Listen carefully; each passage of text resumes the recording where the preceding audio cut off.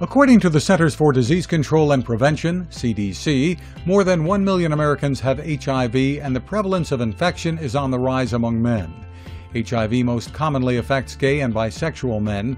However, the virus also occurs in heterosexual males with a higher prevalence of African American men.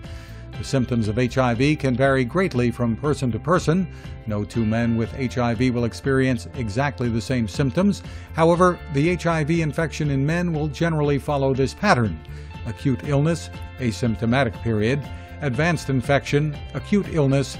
It's the primary stage of the infection and lasts until the body has created antibodies against the HIV virus. The most common symptoms include body rash, fever, sore throat, severe headaches, Less common symptoms may include fatigue, swollen lymph glands, ulcers in the mouth or on the genitals, muscle aches and joint pain, nausea and vomiting, night sweats. Symptoms typically last one to two weeks, asymptomatic period. During this time, the virus replicates within your body and begins to weaken your immune system.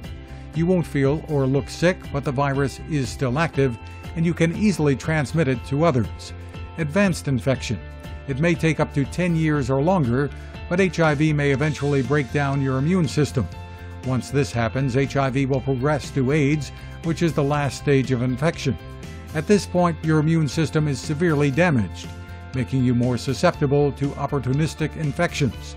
You might also experience the following AIDS symptoms nausea, vomiting, persistent diarrhea, chronic fatigue, rapid weight loss, cough and shortness of breath, recurring fever, chills, and night sweats, sores in the mouth or on the genitals, red, brown, or purplish lesions under the skin or inside the mouth or nose, prolonged swelling of the lymph nodes in the armpits, groin, or neck, memory loss, confusion, or neurological disorders.